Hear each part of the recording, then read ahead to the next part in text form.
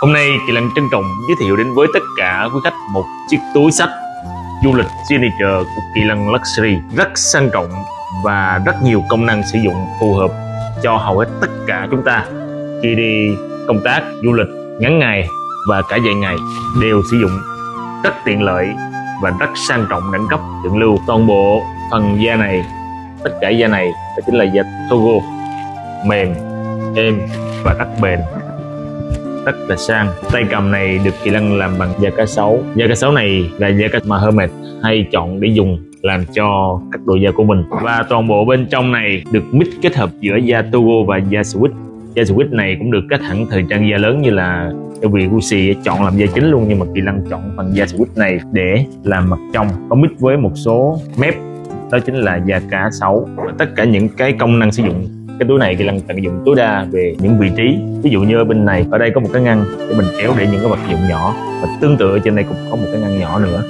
Còn chỗ trống này là cái lỗ cái nơi để xỏ vào cái cần tay kéo của cái vali. Để mình kết hợp với vali thành một bộ mình đi cho nó tiện còn không có bị rơi rớt. Bên trong này thì học này kỳ lăng để trống. Có một cái ngăn chia ở, ở giữa làm hai. Khi mình dùng thì mình lật đứng lên như thế này. Còn không thì mình thả ra để mình để được rất nhiều đồ mà Khi Lân đang làm không gian mở để để được rất nhiều đồ khác ví dụ như là ví cầm tay bao da điện thoại à, sạc pin điện thoại thậm chí là để được luôn cái túi à, clip vào đây luôn thoải mái không gian bên trong này.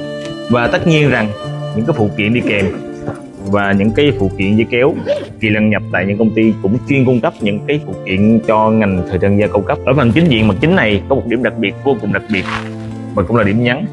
Đây là một cái logo vương miện. Logo vương miện này là một biểu trưng, biểu tượng cao quý, sang trọng và điểm nhấn đặc biệt trong cái logo vương miện này. Đó chính là một cái logo vương miện bằng vàng nguyên khối AO 750 do chính chị Lan Luxury chế tác. Trong cái logo vương miện bằng vàng này sẽ có ba viên kim cương hột sòn thiên nhiên vuông tuyển chọn nữa, đẹp chiếu lấp la lấp lánh. Và chiếc túi này có một chi tiết chị Lan đang chuẩn bị hoàn thiện theo yêu cầu của quý khách. Đó chính là để tên của cái khách vào một trong hai góc này và kỹ năng chọn góc này để làm cho vị khách hàng đặc biệt đó. Tên của vị khách hàng đó không phải là khách bình thường, bởi vì đây là chiếc túi signature cao cấp, nên Kỳ Lân sẽ làm một cái khuôn để Kỳ Lân dập chữ. Ánh vàng như thế này.